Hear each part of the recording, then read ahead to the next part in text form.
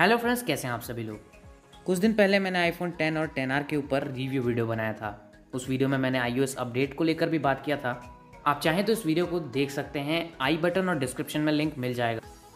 लेकिन आईफोन 11 के review video में iOS अपडेट से रिलेटेड कोई भी बात मैंने नहीं किया था। तो आज की इस वीडियो में मैं यही डिस्कस करने जा रहा हूँ कि आईफोन 11 में कितने iOS अपडेट्स और मिलने वाले हैं फ्यूचर में। तो चलिए इस वीडियो को स्टार्ट करते हैं।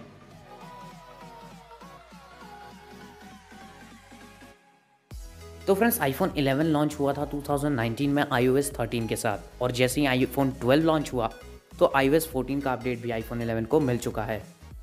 अब इस iOS अपडेट के ट्रेंड को देखकर हम ये प्रेडिक्ट कर सकते हैं कि आईफोन 11 को मिनिमम कितना iOS अपडेट मिलेगा ही मिलेगा। तो अभी आप देख सकते हैं कि लेटेस्ट जो आईफोन्स हैं, उनमें मिनिमम पाँच iOS अपडेट तो मिल ही रहा है, जैसे कि आईफोन 6s प्लस में मिला है।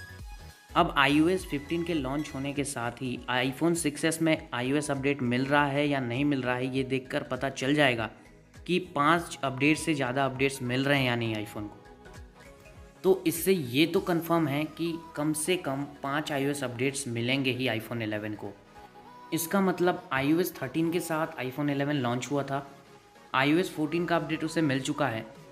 तो अब आगे आने वाले चार सालों तक उसे अपडेट मिलना फिक्स है। यानी कि iOS 18 तक तो अपडेट मिलेगा ही मिलेगा आईफोन 11 को। शायद ये 19 या 20 हो जाए। नहीं तो iOS 18 तो मिलेगा ही। यानी कि आईफोन 16 के आने तक, या फिर कह सकते हैं 2022 तक।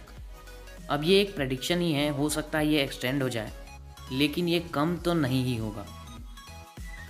अब फ्रेंड्स आपको क्या लगता है आईफोन 11 में आने वाले आईओएस अपडेट को लेकर? कमेंट करके ज़रूर बताइएगा। आज की इस वीडियो में बस इतना ही। मिलूँगा अगले वीडियो के साथ। तब तक के लिए मेरे चैनल को सब्सक्राइब करना मत भूलिएगा। पसंद आए तो इस वीडियो को लाइक कर दीजिएगा। और आपके सपोर्ट के हमें बहुत ज़रूरत है तो प्लीज़ सपोर्ट करिएगा। मिलते हैं नेक्स्ट बहुत इंटरेस्टिंग वीडियो के साथ।